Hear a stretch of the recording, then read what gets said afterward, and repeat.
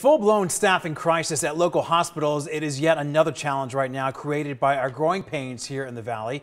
Well, thanks for joining us for 13 Action News Live at 6. I'm Todd Quinones. And I'm Trisha Keene. 13 Action News has launched a newsroom-wide initiative examining all angles of our explosive growth. Tonight, reporter Kelsey McFarland shows what's being done to lure more doctors to Las Vegas as we grow from Meadows to Metropolis.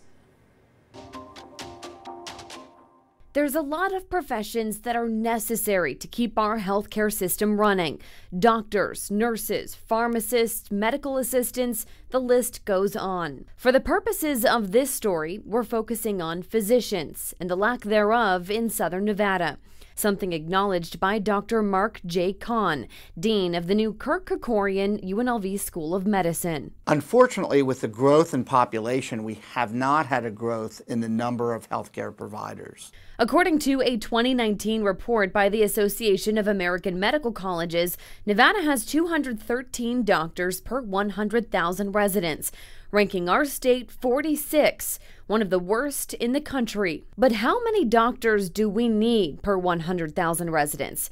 That depends on who you talk to. But if we wanted to be in the top tier in the country, that number would need to double. The only specialty that approaches national norms in Southern Nevada is plastic surgery. So everything else is actually um, deficient. I talked to Mason Van Houweling, Chief Executive Officer here at University Medical Center, home to the first and only Level 1 Trauma Center in Southern Nevada.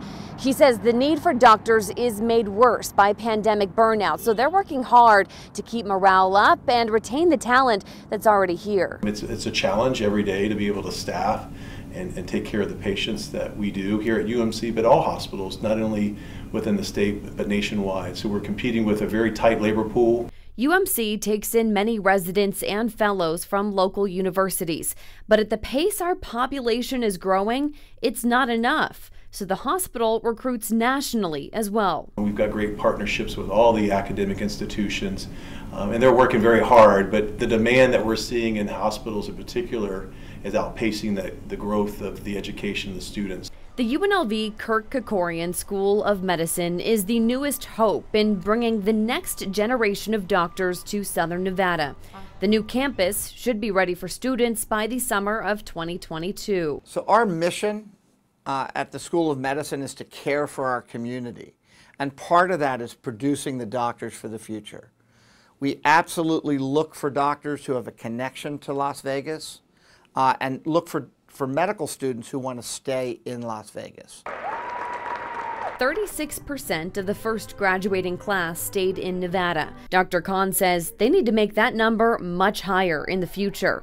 He plans to do so by expanding residency options and working towards having scholarship aids, meaning students can work to pay off tuition debt if they stay in Southern Nevada. Because after all, we're here to improve health care but we're also here to diversify our economy with high paying jobs, with medical technology, with device development, etc.